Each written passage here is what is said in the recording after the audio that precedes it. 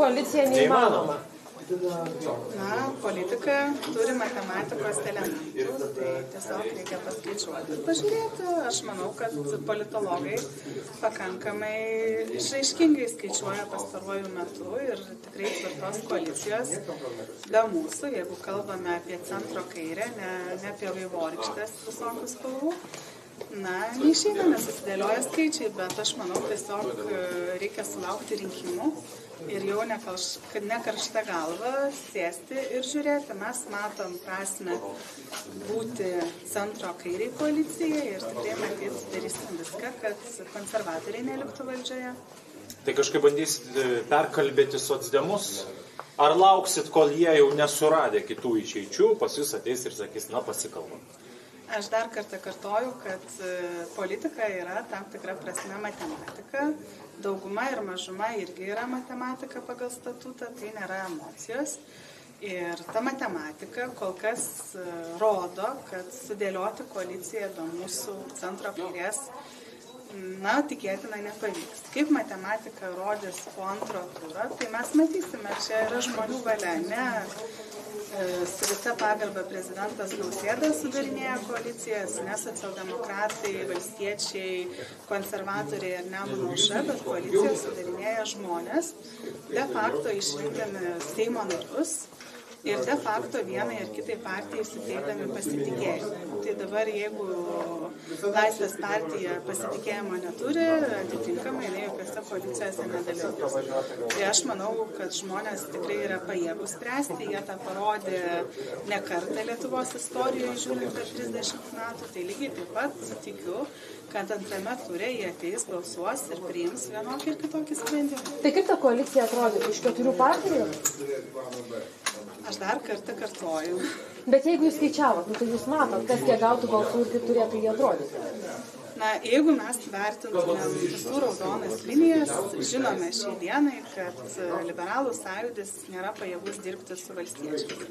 Tai vadinasi, koalicija iš keturių partijų, kur būtų valstiečiai ir liberalų sąjūdis, yra neįmanoma.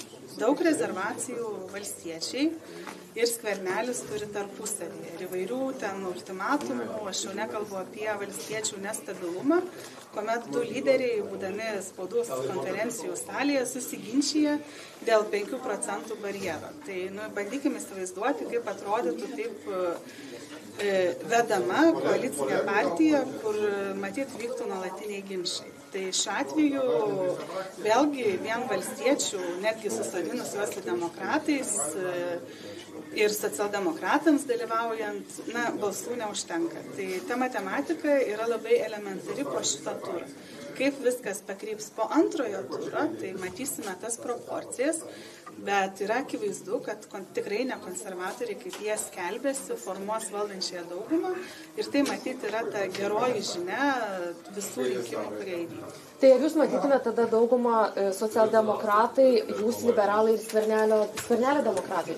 Mūsų partijos valdyba šiam momentui dar Liepos mėnesį yra prieimusi sprendimą, kad mes tikrai niekuomet nedirbsime su konservatoriais, nes nematome jokių galimybių dalyvauti bendroje kažkokioje veikloje. Tačiau mes esame atviri centro kairės koalicijai. Tai va, centro kairės koalicija, kaip rinkėjai pasitikės, kokia proporcija bus, tokia jinai ir bus. Ir mes tikrai ją remsime net jeigu na, pat, patys nedalyvaudami, matyt, dar partijos pirmininkas nekartą jau sakė, kad greičiausiai mes tokiai koalicijai netgi nesiskelbtumėm opoziciją, o tiesiog liktumėm dirbti mažumoje, jeigu taip tektų dirbti. Regis prezidento patarėjas pavadino jūsų partiją Frankensteinu. Jaučiatės tokiais? Nesijaučiam, bet tikrai vertinam išradingą patarėjo kalbėseną, kuris, na, žodžio kišenėje neieško. Jeigu būtumėt koalicijoje, koks postas ar kokie postai jums būtų svarbiausi gauti, dėl ko dėrėtumėtės? Pana Žemaitaitis vakar sakė, kad jis labai norėtų būti žemės ūkio ministru. Aš manau, kad kalba apie postus, kuomet nėra pabaigtas antras rinkimų turas, kuomet nėra aiškus frakcijos dydis, yra tikrai ne ta kalba, kuri turėtų būti prioritetas ir kam reikėtų skirti dėmesį.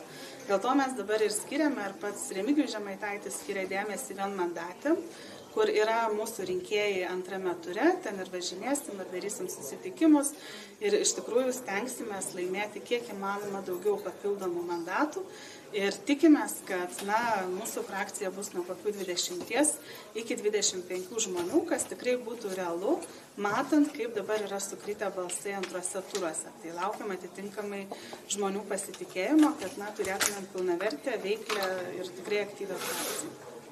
Nacho. Nacho.